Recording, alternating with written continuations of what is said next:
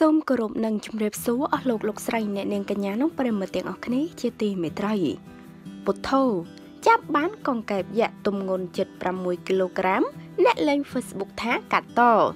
តែសហគមន៍សត្វព្រៃចេញមុខបកស្រាយថា ចានថាតើគាត់បានចេញមុខនិយាយបែបណានោះឥឡូវយើងតាមដានព័ត៌មានលម្អិតទាំងអស់គ្នាសហរដ្ឋអាមេរិក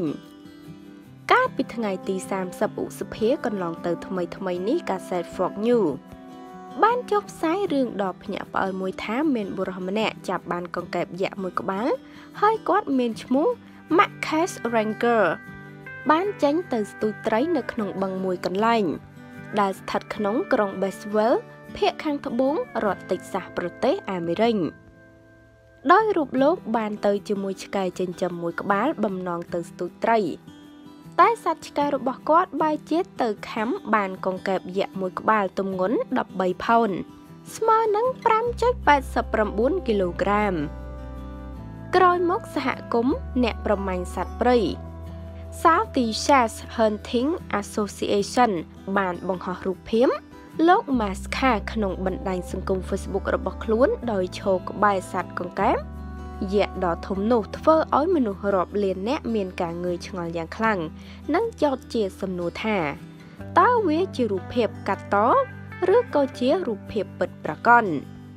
បន្ទាប់ពីធ្វើឲ្យមានការភ្ញាក់ផ្អើលក្នុងបណ្ដាញសង្គមរួចមកក្រុមអ្នកការពារឧស្សាហជាតិសត្វព្រៃបានចេញមកបកស្រាយនិងបង្ហាញយ៉ាងច្បាស់ថារូបនេះគឺជារូបភាពពិតប្រាកដវាមិនមែនជារូបភាពកាត់តនោះទេទោះ ជារូបបុរសនោះបានឈរដោយយកដៃរបស់គាត់ទៅបាំងពីក្រោយសัตว์កង្កែបនោះយ៉ាងណាក៏ដោយសัตว์កង្កែបនោះពិតជាធំមែនទែនបើមិនបានឃើញនឹងភ្នែកគឺពិតជាមិនជឿនោះទេ ចាមិនគួរឲ្យជឿនោះទេសត្វកង្កែបមានទម្ងន់រហូតទៅដល់76គីឡូក្រាមឯណោះគឺជាកង្កែបយក្សមិនដែលឃើញសោះតែម្ដង ក្រោយពីបង្ហោះរូបភាពនេះ ធ្វើឲ្យមហាជន បានគិតថានេះគឺជារូបភាពកាត់តមិនមែនជារូបកង្កែបពិតនោះទេមិនដែលមានកង្កែបឯណាធំខ្លាំងបែបនេះប៉ុន្តែត្រូវបានក្រុមអ្នកការពារឧស្សាហជាតិសត្វព្រៃបានធ្វើការបកស្រាយយ៉ាងច្បាស់ថារូបនេះមិនមែនជារូបកាត់តនោះទេ គឺជារូបភាពពិតពិតដែលបុរសម្នាក់នោះចាប់បានកង្កែបនេះចាហើយតេតងនឹងព័ត៌មាននេះដែរក៏សូមបញ្ចប់តែត្រឹមនេះអរគុណបងប្អូនទាំងអស់គ្នា